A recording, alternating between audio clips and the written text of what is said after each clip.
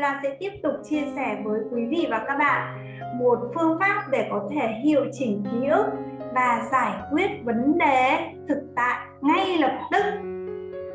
Nội dung tiêu đề của video ngày hôm nay cực kỳ tuyệt vời và rất là hay, đúng không ạ? Và không biết là các anh chị ờ, ở đây có hay gặp phải những cái rắc rối nho nhỏ trong cuộc sống hàng ngày và gây ra cho mình những cái sự bực bội, khó chịu hay không? Chẳng hạn như là những cái à, việc là chúng ta đi làm các thủ tục giấy tờ hành chính công này chúng ta bị đến trễ này hay chúng ta đi đường không cẩn thận mà à, bị cảnh sát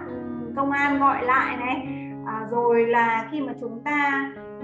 cố gắng là đến một cái nơi nào đó đúng giờ nhưng mà đường thì lại tắc ngoài rồi rất là nhiều những cái vấn đề nó xảy ra mà khiến cho chúng ta cảm thấy rất là bực bội. Và cái năng lượng của chúng ta ấy, cái rung động năng lượng nó bị thấp xuống rất là nhanh. Những sự việc này tuy là nhỏ thôi nhưng mà khi mà rung động năng lượng nó thấp thì nó lại kéo theo rất là nhiều những cái rắc rối khác và khiến cho chúng ta không duy trì được cái nhịp độ hứng khởi và chúng ta sẽ rất là khó để thu hút được các cái nguồn lực mà mình đã đặt hàng trong vũ trụ trước đó. Nó sẽ không về được uh, như là mong muốn của mình và vì vậy nên trong video số 4 này Mai Loan sẽ chia sẻ với quý vị và các bạn cái cách để có thể là thoát khỏi những cái bế tắc đấy bằng việc là yêu cầu hiệu chỉnh ký ức ngay tại thời điểm đó để sự việc của chúng ta sẽ được thông suốt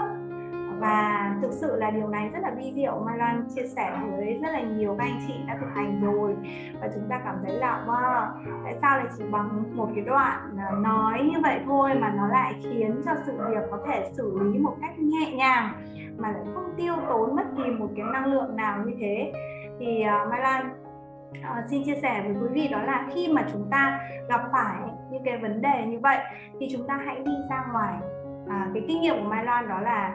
hãy dừng lại hãy bình tĩnh hãy hít thở đều hít thở sâu ba nhịp. Sau đấy là sẽ um, đi ra ngoài. Cái ờ, cái một cái chỗ nào đấy có thể là giúp cho chúng ta tĩnh lặng một phút. 1 đến 3 phút và chúng ta sẽ đọc thầm cái đoạn sau. Mà là sẽ để cái đoạn này vào trong phần mô tả bên dưới video nhé. Thì các anh chị có thể là à, chúng ta sẽ copy cái đoạn đó dán vào điện thoại khi nào mà chúng ta gặp bất kỳ một cái rắc rối nào đấy thì chúng ta hãy nhớ là dùng cái đoạn này để hiệu chỉnh ký ức của mình nhé thì Mai Loan thông thường là sẽ nhắm mắt lại và sau đấy sẽ nói rằng là xin chào à, tôi tên là Mai Thanh Loan tôi xin được kết nối với năng lượng nguồn với các đấng sáng tạo với vị thầy tâm linh. Tối cao và những thực thể cao hơn đang ngày đêm hỗ trợ tôi và tôi có một vấn đề cần sự trợ giúp. Vì một sự nhầm lẫn nào đó mà à, các giấy tờ của tôi đang gặp phải trục trặc và sai sót khiến cho việc này không được thông suốt. Tôi xin chịu trách nhiệm 100% cho ký ức này và tôi xin được kết nối với các đấng sáng tạo để hiệu chỉnh tất cả các vấn đề này. Xin được thanh tẩy để trở về với trạng thái thuần khiết. Tôi xin vô cùng cảm ơn cảm ơn và cảm ơn các vị sau đấy chúng ta sẽ đọc bốn câu thần chú đó là tôi xin lỗi xin hãy tha thứ cho tôi cảm ơn bạn thương lắm. Và nếu như mà chúng ta cầm cái bút chì thanh tẩy đi theo mình thì chúng ta cũng có thể sử dụng bút chì để gõ vào những gì mà mình đang gặp rắc rối. Ví dụ như là, là cái xe nó bị trục chặt nó không đề được này hay là à, cái giấy tờ nó bị gặp vấn đề gì đó thì chúng ta có thể dùng bút chì để chúng ta gõ nhé bút chì thanh tẩy là một trong những cái công cụ clean vô cùng mạnh mẽ trong gỗ Ho'oponopono và thực sự là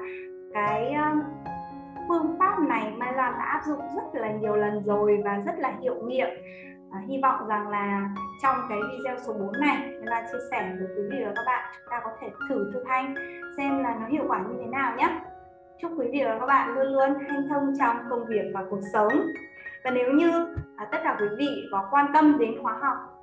à, 21 ngày thực hành hỗ Ponopono cùng với cộng đồng gieo hạt trí tuệ tâm thức của Mai Loan thì có thể đăng ký vào nhóm thực hành hỗ Ponopono thanh tẩy chữa lành gieo hạt hoặc là inbox vào hotline của trí tuệ tâm thức đặt ở bên dưới trong phần mô tả của video này. Vân Lan xin chân thành cảm ơn sự theo dõi của quý vị và các bạn trong series video chia sẻ về phương pháp cổ Honopono bí mật chữa lành tâm thức của người Hawaii cổ. Và chúc quý vị và các bạn luôn luôn bình an, khỏe mạnh và